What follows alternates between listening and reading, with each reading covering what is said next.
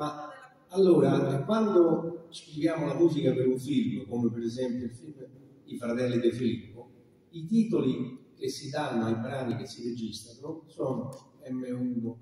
M2, M3, M4, che viene dalla tradizione quando si distingueva M1, M2, M3, musica 1, musica 2, musica 3, D1, D2, D3, dialogo 1, dialogo 2, eh, dialogo 3 eh, e effetti 1, 1, 2, 3. Hanno un titolo. Quando poi si pubblicano i brani interi, eh, bisogna, bisogna dare un titolo io cerco sempre di trovare un titolo che sia coerente con la scena che stava, che stava commentando. A volte manchiamo di fantasia e siamo un po' banali, invece a volte, a volte eh, ricordo c'era un periodo in cui si dava il nome della protagonista, tema di Gilda, tema di Francesca, perché c'è stato il tema di Lara, e quindi si,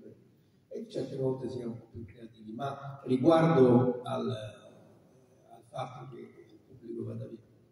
per me il pubblico è sacro, fa quello che vuole e di certo non mi sento, non mi trovo bene nella funzione del, dell'educatore. Eh, quella dei titoli è una storia un po' strana, perché tutto il cinema, la gran parte del cinema che ho fatto e del cinema che ho visto, cominciava con i titoli. Cominciava con un marchio di distribuzione, un leone, un gong, e poi c'erano i titoli, dove i ruoli più importanti venivano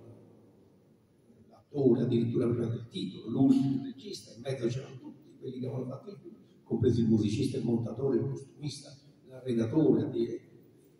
E durante questi titoli, che erano una durata di due minuti e mezzo, tre, tre minuti e mezzo,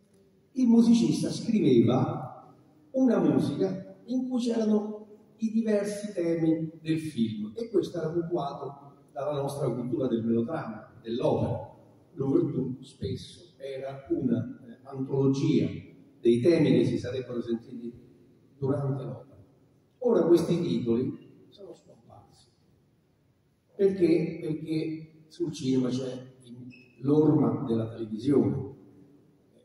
I titoli dicono, fanno cambiare canale, quindi il film deve entrare subito in media stress, deve andare deve, come si dice, acchiappare il telespettatore, quindi sono spariti questi titoli che vanno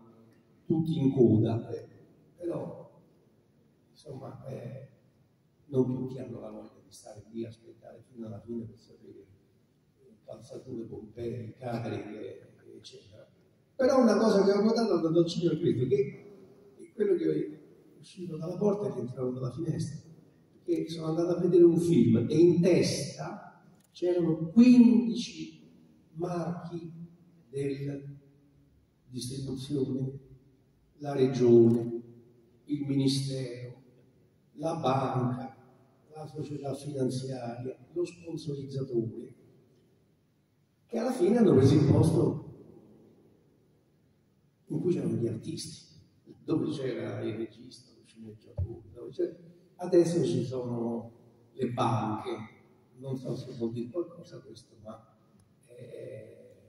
è, è un dato di fatto. Sicuramente i titoli di testa di oggi sono più noiosi di quelli di prima.